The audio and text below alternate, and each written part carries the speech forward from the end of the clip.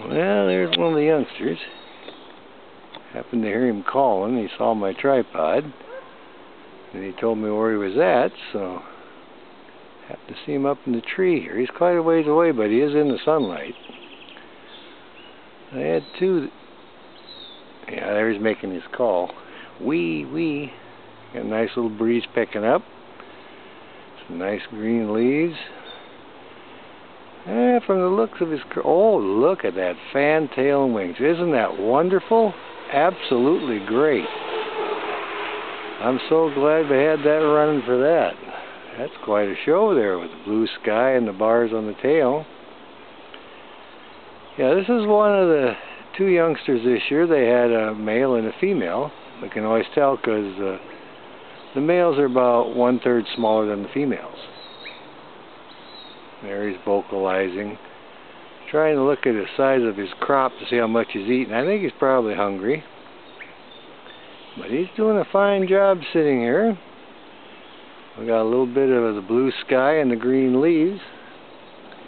And he did stretch and fan his tail out, and that's always wonderful when we see that. I heard the other one, but I don't know which tree he's in. But this is actually a pretty good spot. Oh yeah, look at this guy now. He's looking at something down there. He's posing pretty good today. Oh yeah, look at the bars on the tail. He's got the splotches on his chest. Yeah, Mama's making him a little hungrier than uh, she normally does because she wants him to get hungry enough to try to hunt. See, that's part of the strategy.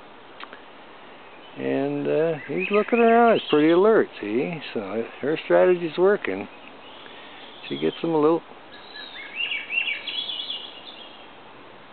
I just seen if the sibling answered. Oh yeah, look at he's gonna fan that tail again, the wing. Oh my goodness. Isn't that nice?